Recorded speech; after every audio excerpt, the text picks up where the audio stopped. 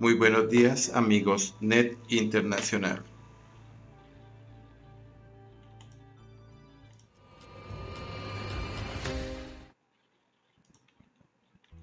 Bueno, en este momento encontré una muy interesante editorial del diario El País de España sobre el país vecino de Venezuela, titulado Detener la represión en Venezuela la iniciativa de México, Brasil y Colombia debe mantener los canales abiertos con Maduro para evitar una escalada de violencia.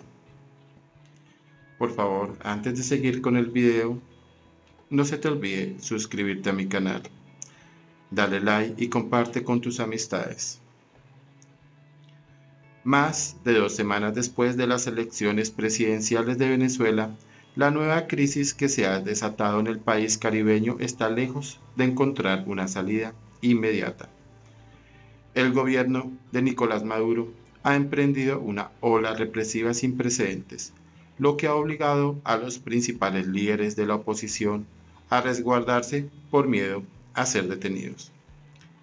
La única luz en el callejón en el que se encuentra Venezuela proviene de la iniciativa de Brasil, Colombia y México que pretenden lograr una salida negociada a la crisis postelectoral y que ha logrado acaparar el apoyo de la mayor parte de la comunidad internacional.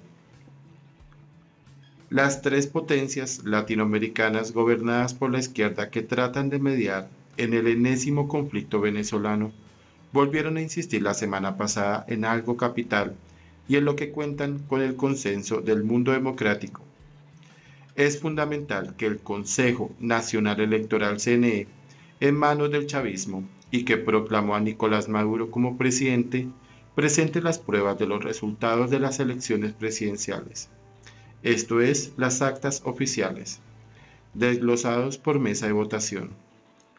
La insistencia de los tres gobiernos tiene su base en dos motivos. Primero, la oposición publicó en una web todas las actas que había logrado obtener después de la recolección que hicieron sus testigos en la noche electoral.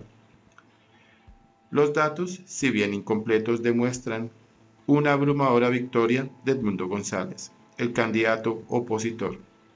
Y segundo, hasta la fecha, esas actas no han sido desestimadas más que por el oficialismo, mientras organismos independientes como el Centro Carter que participó como observador electoral el 28 de julio, las ha dado por buenas.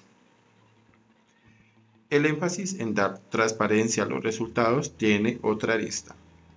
Los gobiernos de Luis Ignacio Lula Silva, Andrés Manuel López Obrador y Gustavo Petro, que han evitado reconocer la supuesta victoria de Maduro sin quemar los puentes con el chavismo, se ha desmarcado de la iniciativa del heredero de Chávez, de llevar la, disputa, la disputa perdón, al Tribunal Supremo de Justicia de Venezuela, TSJ, controlado también por el chavismo, y han reafirmado la necesidad de que haya una verificación imparcial de los resultados.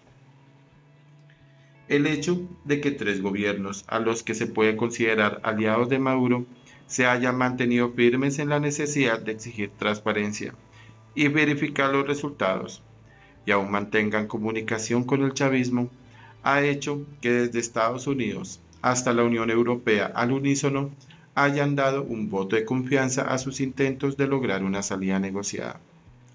¿Acaso el único motivo de celebrar en esta situación crítica en la que la prioridad es evitar que el régimen se defienda con una escalada de violencia represiva contra la presión en las calles?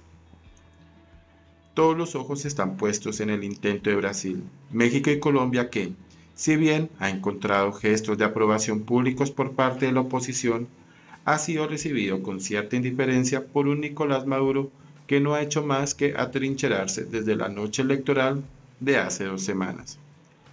La represión, que ha emprendido con más de 2.000 detenidos, según él mismo ha celebrado en más de una ocasión, debe parar de inmediato es imperativo que frene la persecución a los líderes de oposición, así como a aquellos que salieron a protestar contra las irregularidades de la noche electoral, como un primer paso de que está dispuesto a negociar y no a mantener una deriva totalitaria.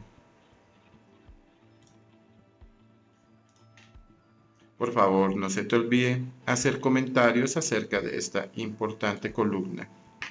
Eh, sus aportes son muy importantes para continuar con este proyecto llamado Net Internacional.